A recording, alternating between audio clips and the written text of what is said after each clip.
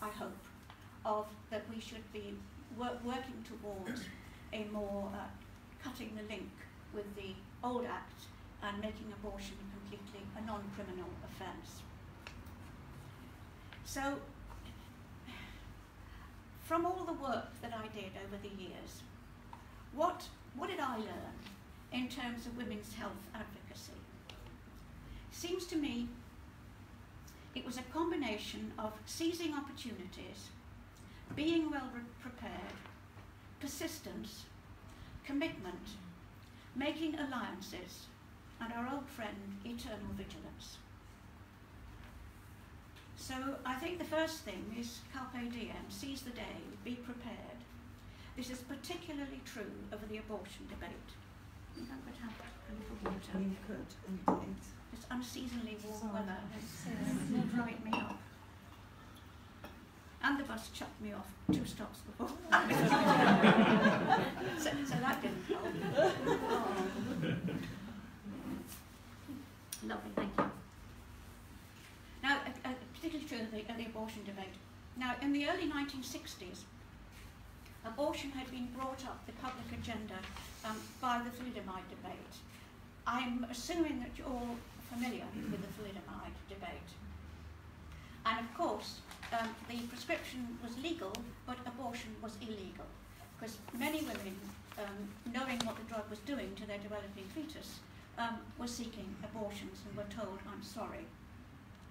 And then we had the Labour government of 65, 64 to 70 essentially, um, which was definitely a period of social and sexual reform, divorce, homosexuality.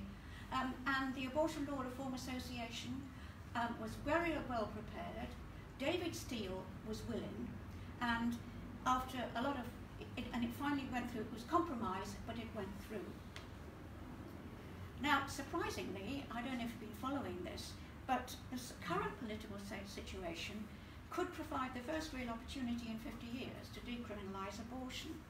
Um, now, on 23rd of October, Diana Johnson is going to be introducing a 10, I think it must be a 10 minute rule, but I only picked this up today, on abortion, now which is building on parliamentary initiative on decriminalisation led by both Diana Johnson and Stella Creasy, which combines the Northern Ireland situation and the principle of decriminalisation. You know, you, you couldn't invent it.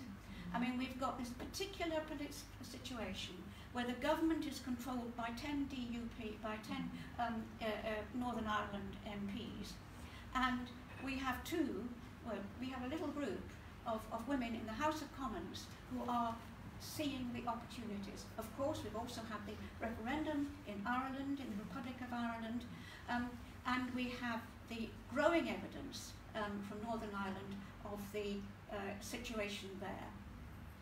And the Select Committee on Women Inequalities is holding an inquiry into decrim. I think it's Northern Ireland, um, but the decriminalisation is bound to come up. Um, and so we'll that that is the, it, it's an on it's an issue which is you know there.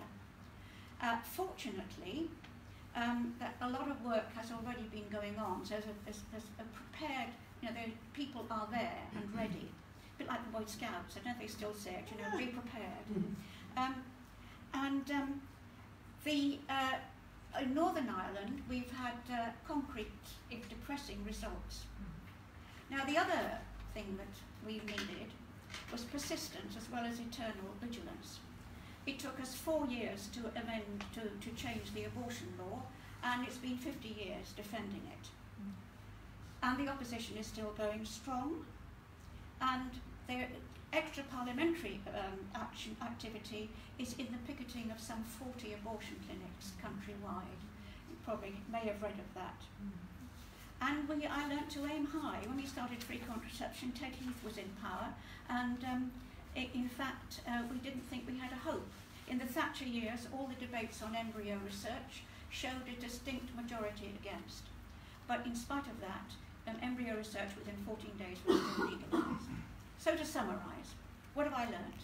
Carpe diem, be prepared, hang on in there, work with your allies, and keep your eyes skinned. You never know what you may achieve. Thank you.